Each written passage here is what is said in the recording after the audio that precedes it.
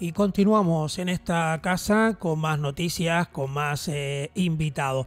¿Qué les parece ahora si nos marchamos a charlar con el responsable comarcal de medio ambiente en la querida institución de Cruz Roja? Tenemos en esta comarca del Valle de la Orotava tres municipios y el responsable de esta, eh, de esta área de medio ambiente es Rodolfo Rodríguez González. Don Rodolfo, un saludo, bienvenido, muchas gracias por atendernos.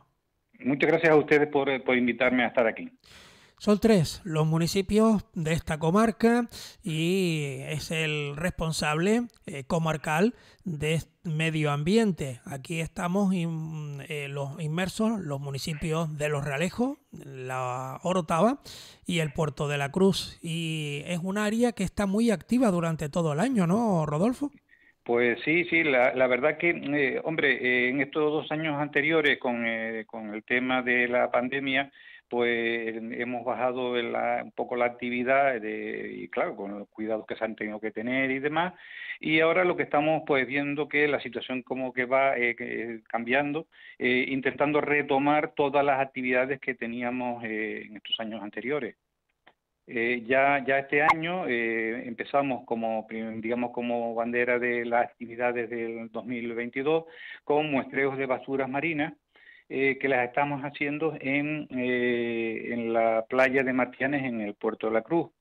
El, el muestreo de basura marina es, es una actividad que se hace para comprobar las basuras que podamos encontrar a nivel de la arena a nivel de, la playa y que han sido o dejadas por el hombre o traídas por el mar. tenemos cuatro actividades, o sea, una actividad trimestral, que serían cuatro actividades al año, eh, y la verdad que mm, es, una, es muy interesante. Este sábado, eh, eh, este sábado vamos a tener la primera, el primer muestreo del año y invito a todos los que quieran estar en la zona de Martianes, en el entorno del Hotel Tenerife Playa, eh, desde las 10 de la mañana hasta la 1 aproximadamente. Y bueno, y ahora mismo alguien que nos esté escuchando puede participar también de, esta actividad. Por supuesto, puede, eh, invitamos a todos los que quieran estar con nosotros ese día. Eh, lo único, va, de momento, pues hay que seguir respetando las normas COVID, hay que seguir respetando eh, la, la, normativa y es lo único que pedimos. Eh, lo que es la actividad como tal es muy fácil, muy sencilla y yo voy a estar ahí para eh, poder, eh, digamos, ayudarles o indicarles lo que estamos haciendo y, y qué es lo que pretendemos con esta actividad. Claro.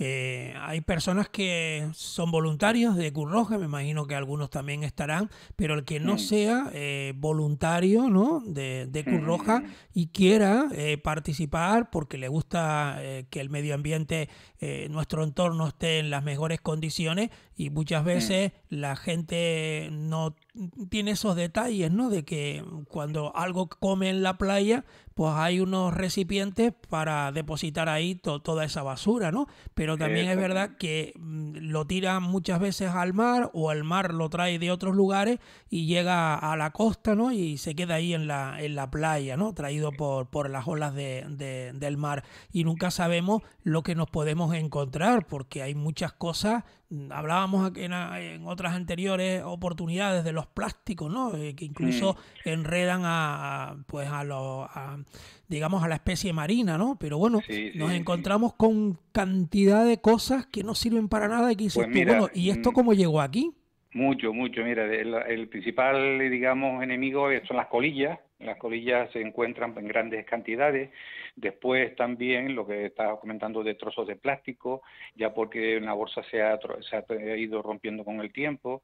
Eh, se, hay, pero hay pues bastoncitos para los oídos que tú dices, pero ¿cómo pueden llegar aquí? Pues eso te iba a preguntar yo. Eso te iba a preguntar Pues bueno, los bastoncitos de los oídos vienen porque la gente eh, la suele tirar por el por el váter, o sea, la suele tirar por el inodoro, y eh, el bastoncito eh, mm, tiene una, una, pelusilla, que esa pelusilla se desprende y al final el bastón pasa por los filtros que hay de, la, de las depuradoras.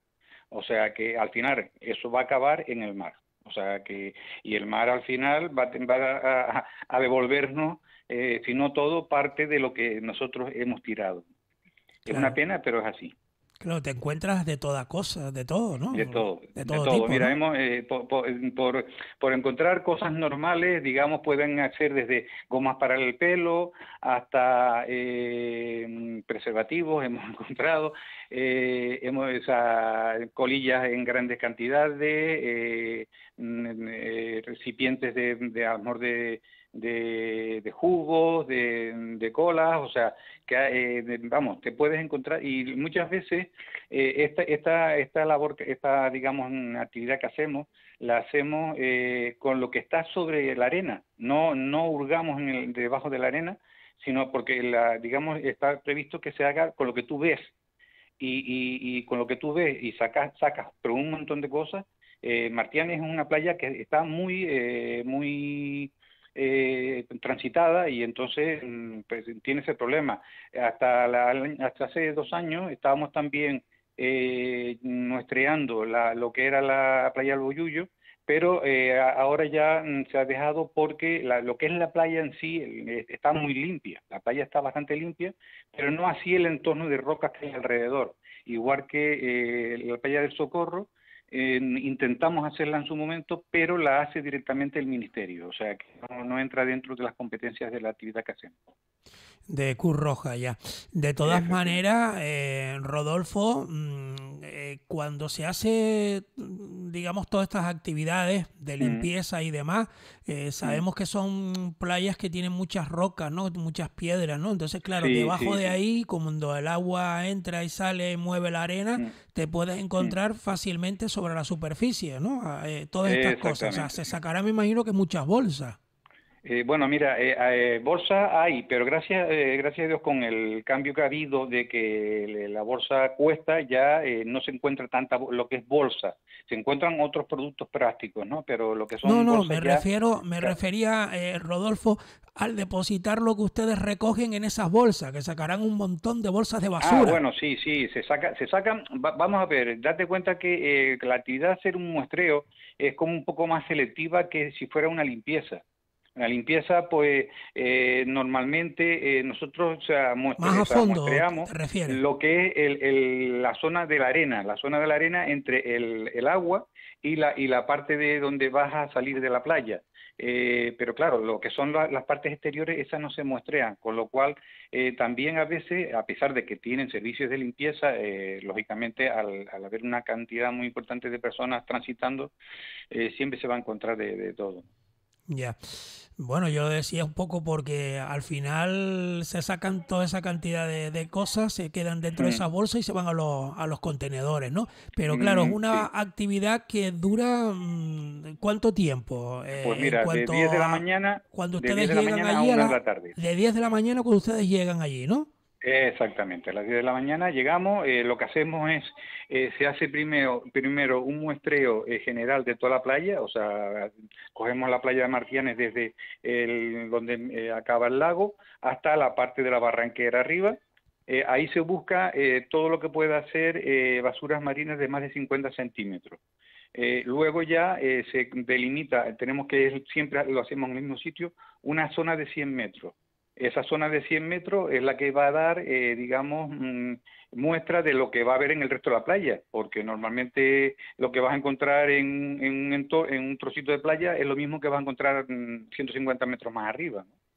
Claro. De todas maneras, esta es una de las actividades de este sábado, pero eh, a lo largo de lo que queda, de aquí al verano o lo que queda de año, en esa agenda me imagino que habrán marcadas otras fechas y otras eh, cosas que ustedes desde el área de medio ambiente tienen programado. No sé si podemos adelantar algunas de ellas para que los amigos oyentes, por si creen conveniente y tienen pues fechas libres en, esos días, pues pueden participar. De hecho, habrá que ir ese mismo día a la playa o habrá que inscribirse previamente en la sede. En, principio, mira, en principio, eh, eh, si hay algunas personas que quiera ir directamente, no pasa nada. Hombre, eh, no, eh, no creo que vaya a haber tampoco un aluvión de, de personas, ¿no? Pero que si hay varias, las que, las que estén a gusto y que quieran ir, mm, perfecto. Si, si tuvieran dudas, se pueden poner en contacto conmigo a través de mi correo electrónico, que es el de el correo que tengo en Curroja, que es puerto, todo minúscula, puerto ambiente, arroba cruzrojatodojuntos.es. Sí, vamos a repetirlo. Eh, puerto ambiente arroba cruzroja punto es, todo minúscula por, por, supuesto. Entonces, si ahí me pueden poner si quieren, oye, que estoy interesado en asistir el sábado, hay algún, eh, o sea, me pasan su nombre y demás, ya yo les contestaré, yo voy a estar pendiente estos días más que más que de lo normal del correo, por si hubiera eh, hubieran personas que quieran estar con nosotros. Vale. Y en el resto del año hay señalados algunas otras actividades que podamos adelantar. Por ejemplo, tocamos mucho, tocamos mucho, eh, yo eh, desde hace varios años, yo siento el tema de las eh, ODS, los Objetivos de Desarrollo Sostenible. normalmente damos talleres informativos sobre lo que se pretende con los ODS. son talleres de aproximadamente, bueno, tallecitos, charlitas, realmente de una horita y cuarto, horita y media, en la que mm, se les comunica mm, eh, a los que estén interesados qué mm, es lo que se pretende con los objetivos de desarrollo sostenible y luego también tenemos unos pequeños eh, charles o talleres de eh, ahorro energético. En el ahorro energético lo que hacemos es damos algunos consejos con la con la, la actual recibo de la luz, o sea, eh, qué, es lo que hay que tener en cuenta, cómo se podría ahorrar un poquito en el, en el recibo de la luz, eh, con el tema de la potencia, con el tema de lo que tenemos contratado, y luego también algunos pequeños consejos sobre el, uso que tenemos de los electrodomésticos, que a veces eh, no tenemos en cuenta el, eh, el gasto que, que, nos puede producir, pues yo que sé, un termoeléctrico, por ejemplo. El termoeléctrico es un electrodoméstico que está todo el día encendido. O sea, digamos que todo el día tiene acceso a la luz, lo único que no es que esté encendido todo el día, sino que cada vez que el agua se enfría o pasa baja de una temperatura, ya se vuelve el termo a activar otra vez, o la nevera, que la nevera sí que está encendida prácticamente las 24 horas. Claro, son, eh, digamos, aparatos que necesitan también, pues, de, mm. de, un, digamos, un proceso, ¿no? Y de estar pendientes de ellos, ¿no? Claro, claro, y, sobre todo mm, ir comprobando con cierta regularidad pues las gomas de las gomas de la nevera, eh, ir comprobando de que no tenga suciedades, de que esté separado de la pared, o sea, hay una esos son una serie de pequeños consejos, eh, el igual que por ejemplo cuando lleguemos a la noche por las noches eh, y mm, nos acordemos de apagar las regletas si no nos hacen falta. Eh, ¿Por qué? Porque mm, tenemos muchas veces dejamos todas esas televisiones, ordenadores en stand-by eh, con lo cual eh, pensamos que eso es un pequeño piloto que no gasta nada y si va sumando uno más uno, al final es mucho mucho lo que se gasta. Eso sí que nos lo han dicho muchas veces porque uno ignora, ¿no? Dice, bueno, ya esto está, ah, eso. ya está pagado, pero bueno, esa mm. cosita que queda ahí, eso no, no consume mucho. Pero claro, uno aquí, otro en la otra habitación, otro en otro sitio, al final es conveniente que si no se está utilizando, apagarlo del todo, porque es una mayor seguridad. Exactamente, sí, pues mira, yo yo, yo llevo, ya digo, desde hace varios años eh, impartiendo esta, estos pequeños consejos, o sea, tampoco que sea algo que eh, sea vayamos a descubrir, pero que sí que es bueno porque te puede ahorrar eh, un par de euritos en el recibo mensual de la, de la luz. Luego, pues, aparte de estas dos cosas que ya te he dicho, del tema de, la, de las ODS y el del ahorro energético, eh, también queremos retomar este año eh, la, la, campaña de las pardelas del Cenicienta. Nosotros eh, llevamos ayudando a la taonilla, que sabes que, que aquí son los, los representantes de fauna en Tenerife, que están en la laguna, eh, pues le llevamos, lo llevamos apoyando desde hace más de 10 años con la recogida de pollos de pardela, que esto se produce en el mes de, mes de octubre.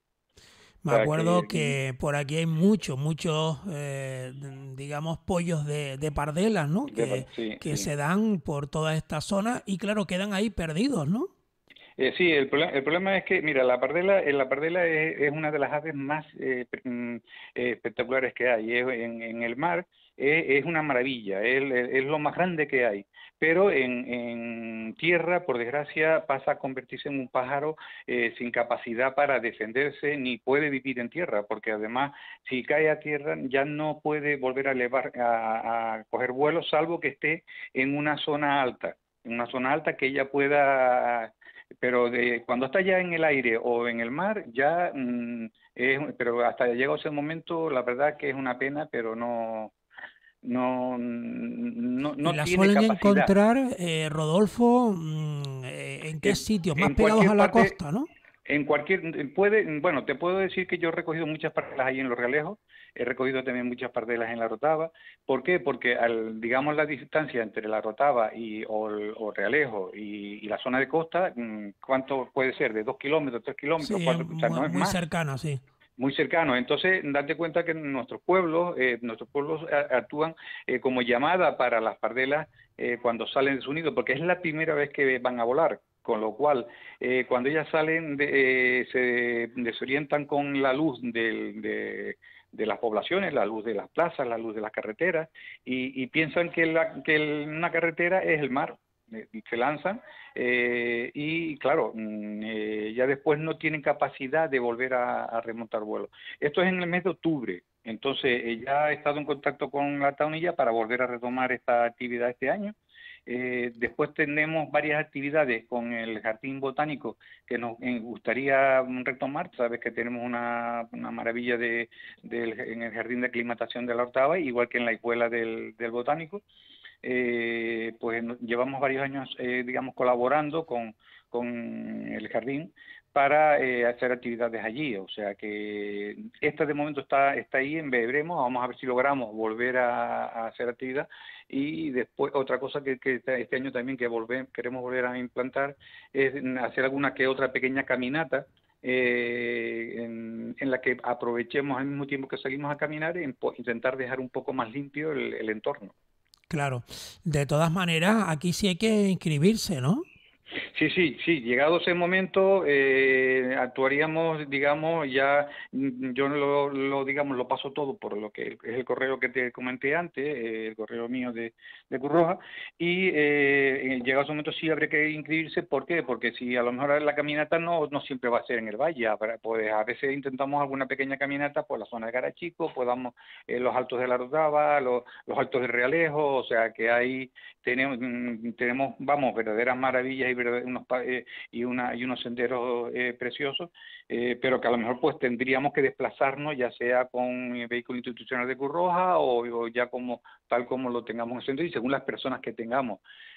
Esto ya lo, lo, hacíamos hace unos años eh, y eh, la idea es que ya este año pues empecemos tímidamente a, a ya programar, aunque sea eh, por lo menos dos o tres actividades durante la zona de, eh, de, anterior y posterior al verano, para no, en el verano ya pues es más complicado hacer eh, senderos.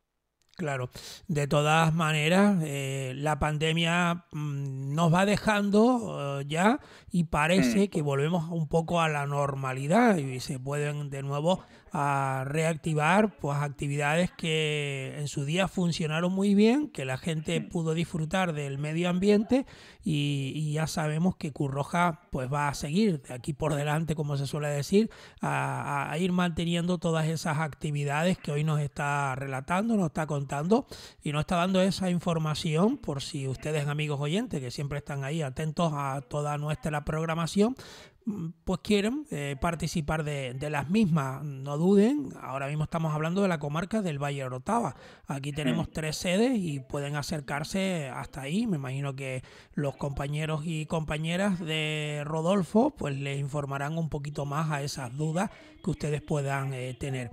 Hoy estamos hablando con el responsable comarcal de Medio Ambiente, con Rodolfo Rodríguez de, de Curroja. ¿Algo más que tú quieras comentar, eh, Rodolfo? Pues mira, siempre hay, hay cosas nuevas y además yo siempre me comento de que me gusta de que eh, me den ideas, pues sobre todo porque llega un momento que ya te vas secando y, y, lo, y vas necesitando de que, oye, ¿por qué no se puede hacer, oye, eh, tal cosa? Pues se habla, se valora y, y, hay, pero muchas actividades más que se podrían hacer, eh, porque nuestro entorno, la verdad, es que por desgracia el cambio climático existe, está, estamos teniendo, sufriendo una cantidad de modificaciones tremendas y si nosotros no tomamos un poco de medidas, eh, la verdad es que lo vamos a pasar mal. Desde aquí, pues darle las gracias a ustedes por haberme invitado y le espero a quien, quien quiera ponerse en contacto con nosotros en las sedes que tenemos eh, en, ahí en Los Realejos, en los bajos del mercado municipal. En La Rotava tenemos nuestra sede en, al principio de la calle del Agua eh, y en el puerto eh, estamos, como siempre, en la calle Agustín de Betancourt, eh, a 50 metros, 100 metros de la de la playa de, del muelle. Sí, estoy encantado, vamos, estoy encantado de atenderlo y sobre todo eso, si tienen alguna duda o quieren hacer una consulta o quieren que tal, pues eh, me pueden contactar en el correo electrónico y ya yo me pongo en contacto con, con quien, quien me llame. Por supuesto, mm, quien quiera hacer alguna actividad ocasional, yo estoy encantado de que venga y que esté con nosotros. Si después ya quiere, de, digamos, estar con nosotros de una forma más regular, eh, es interesante que se haga voluntario, más que nada por el tema de seguro, o sea, que tú sabes que mm, todos nuestros voluntarios están asegurados en las actividades, pues por cualquier pequeño problema que pueda haber, pequeño cualquier pequeño accidente, y siempre es una tranquilidad para el voluntario y para nosotros, ¿no? Claro que sí, por lo menos estar eh, en, en regla, como se suele decir, efectivamente. Y, con toda la normalidad, como se suele hacer en todo tipo de actividades, que haya un seguro por si acaso, como se suele decir. Eh, Nunca sabemos si lo podemos necesitar o no, pero por lo menos ir eh, de forma previsora, ¿no? Pues hoy hemos conocido un poquito más de cerca el área de medio ambiente y todas estas actividades que nos ha ido contando su responsable aquí comarcal en la zona del Valle de la Rotava, eh, desde Curroja, el amigo Rodolfo Rodríguez González. Nosotros pues le citamos para otro próximo día a medida que vayan avanzando también esas actividades y por aquí le vamos dando salida para que los amigos oyentes siempre estén bien eh, informados. Rodolfo, felicidades para ti, para todos tus compañeros, para todas tus compañeras que están ahí en la sede de Curroja y será hasta otra próxima oportunidad. Mucha suerte. Muchas gracias y encantado de estar con ustedes y por supuesto de que todos puedan tener un poco eh, más de información de, las actividades que hacemos y que, que, ojalá pues los que quieran venirse, venirse y hacer actividad con nosotros, oye, lo recibiremos con los brazos abiertos. Un abrazo, gracias. Igualmente, hasta luego.